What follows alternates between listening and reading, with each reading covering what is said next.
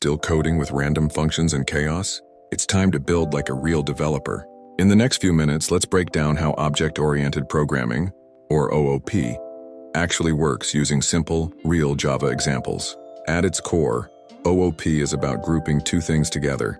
Data, like a car's color, model, or speed, and behavior, like driving, braking, or honking.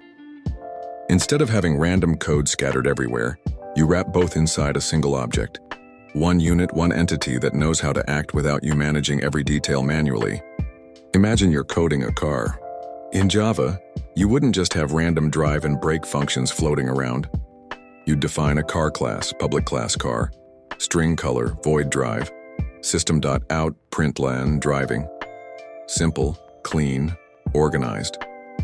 But real OOP power comes from four major principles, the four superpowers that real developers master. Encapsulation. You hide the messy internal data inside the object. No random outsider can just change the engine while you're driving. Inheritance. You build new classes by extending old ones.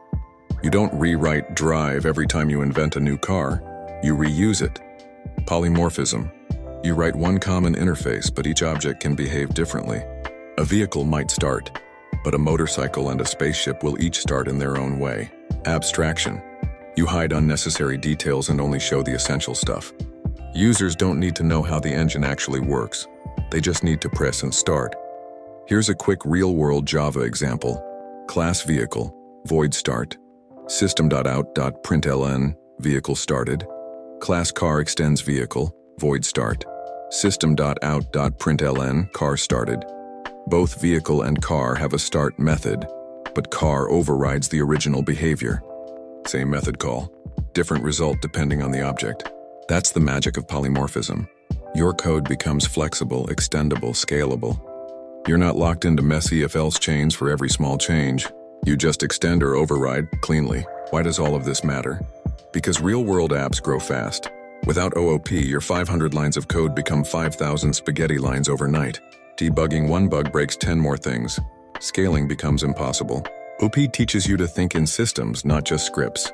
You start designing code that's easy to maintain, easy to test, and easy to upgrade.